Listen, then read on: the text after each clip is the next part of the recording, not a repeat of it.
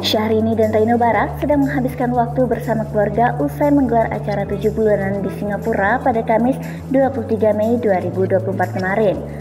Pelantun lagu Restu itu memang memboyong adiknya, Aisyah Rani, dan ibunya Wati Nurhayati dari Jakarta ke Singapura untuk menghadiri acara spesialnya itu.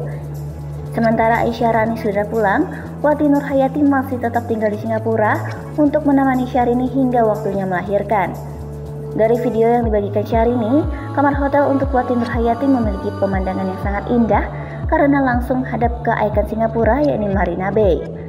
Syahrini memesan kamar tipe Premier Suite yang memiliki fasilitas sangat lengkap seperti kasur ukuran king, bak mandi besar, sofa, kursi santai, meja kerja hingga layanan kamar 24 jam. Dengan fasilitas sangat lengkap itu, kamar yang dipesan Syahrini itu seharga 13,4 juta rupiah per malam. Rencananya, Wati Nurhayati akan menginap tujuh hari. Bila dikalikan dengan jumlah hari menginap, maka istri Reino Barak harus membayar lebih dari 94 juta rupiah.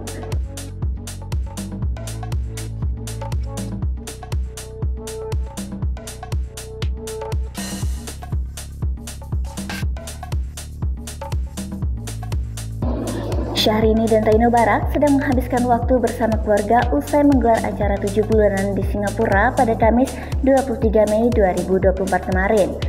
Pelantun lagu Restu itu memang memboyong adiknya, Aisyah Rani, dan ibunya Wati Nurhayati dari Jakarta ke Singapura untuk menghadiri acara spesialnya itu.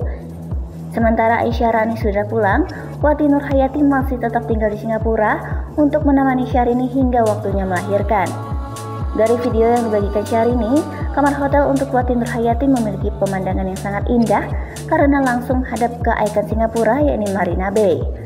Syahrini memesan kamar tipe Premier Suite yang memiliki fasilitas sangat lengkap seperti kasur ukuran king, bak mandi besar, sofa, kursi santai, meja kerja hingga layanan kamar 24 jam. Dengan fasilitas sangat lengkap itu, kamar yang dipesan Syahrini itu seharga 13,4 juta rupiah per malam. Rencananya, Wati Nurhayati akan menginap tujuh hari. Bila dikalikan dengan jumlah hari menginap, maka istri Reino Barak harus membayar lebih dari 94 juta rupiah.